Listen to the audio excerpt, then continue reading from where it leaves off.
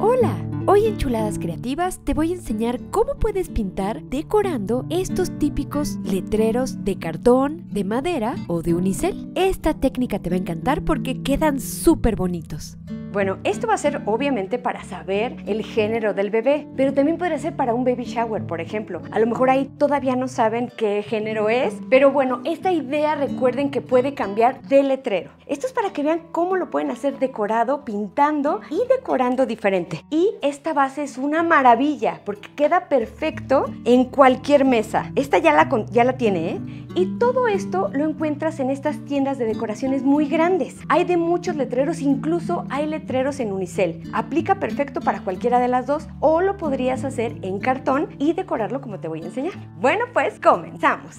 Mis las pinturas que les recomiendo para este estilo de proyectos son las acrílicas o las de tiza. Las dos secan muy rápido y no necesitas tantas manos. Otro tip es que si tu letrero es oscuro, primero píntalo de blanco para que tu color quede mejor. Estas técnicas que les voy a enseñar aplica para cualquier letrero. Los colores ustedes los eligen. Aquí tomé un letrero para una revelación de género, para un baby shower. Sin embargo, podría ser cualquier frase, número, o hasta logotipo. Y bueno, otro tip para que te vayas mucho más rápido es que no diluyas la pintura con agua. Entre más la diluyas, más delgada es y más capas necesita. También más tarda en secar. Así es que de preferencia, colócala así como viene desde que la compras, la vas a utilizar. Si viene un poco espesa, pues sí, coloca unas gotitas de agua, mezcla y con eso vas a pintar.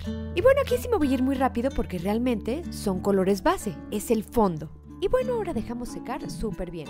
Mi chuladas es sumamente importante que pintes los cantos. ¿A qué se le llama cantos? A los bordes, pero los que ves de lado, a los laterales. Luego de repente esos detalles se nos olvida pintar. Lo puedes hacer con un pincel más chiquito, por ejemplo. Ahora fíjate muy bien, mi chulada. Vamos a darle volumen a cada letra. Vamos a mezclar el mismo color que pusimos de fondo con un poquito de blanco. Tiene que quedarte más claro el mismo tono. También lo podríamos hacer al revés, con un poquito de negro o de un color más oscuro. La idea es que tomes el mismo color con unas gotitas de otro tono diferente, en este caso blanco, para los tres colores. Vas a mezclar, mezclar, mezclar y con esto vamos a darle brillo. Mi chuladas en uno de los lados de las letras, o sea, nos recargamos por ejemplo del lado izquierdo de cada letra, empezando de abajo hacia arriba, hacemos una línea un poquito delgada y la rellenamos. Esto al final, ya que se seque, le va a dar mucha profundidad y van a aparecer como resaltadas cada letra. Esto de verdad se ve espectacular. Es una línea muy sencilla que no te preocupes si no sabes dibujar porque realmente seguir más o menos la figura sin llegar hasta el borde y recargándonos en la letra hacia el lado izquierdo. Solamente vamos a hacer el lado izquierdo esta línea delgada siguiendo de abajo hacia arriba y siguiendo las curvas naturales que tiene la letra. Mira qué bien se empieza a ver. ¡Ah! Y bueno, ya que se empieza a secar, se ve espectacular.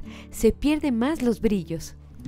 ¿Qué tal? ¿Cómo cambia? Le da mucho volumen a las letras y es algo súper sencillo de hacer. No te preocupes si no sabes pintar, son unos brochazos. Y si tienes que corregir, colocas encima la otra pintura más oscura. Si por ejemplo te pasaste, sentiste que hiciste la línea muy gruesa, por encima puedes pasar el mismo color, por ejemplo. Vamos a decorarlo todavía más con unos marcadores de acrílico o estos marcadores para pizarrón. Estos me encantaron porque tienen color neón. Va a resaltar en la orillita de cada letra mucho más.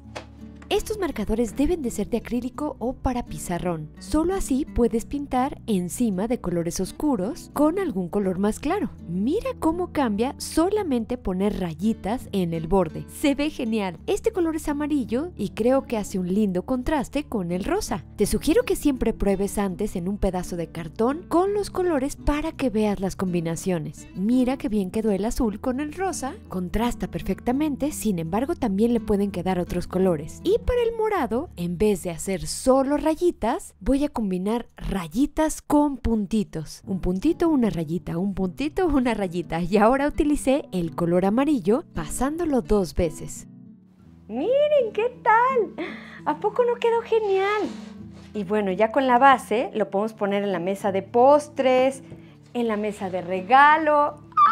Vean qué bonito quedó. Michulas también lo pueden colgar. Tiene estos orificios para colgarlo. Y bueno, este es un ejemplo de técnicas para decorar cualquier letrero, ¿eh? Un cumpleaños, un número, por ejemplo, un número 50, uno, lo que ustedes quieran. Pero estos pequeños detalles van a resaltar muchísimo tu letrero. Algo tan sencillo lo hace mucho más profesional, más llamativo. Vean qué lindo quedó. Bueno, michulas, pues ya saben cómo pintar algunos letreros con técnicas muy sencillas para que resalten. Espero que te haya gustado esta chulada como a mí. Nos vemos muy muy pronto. Bye bye.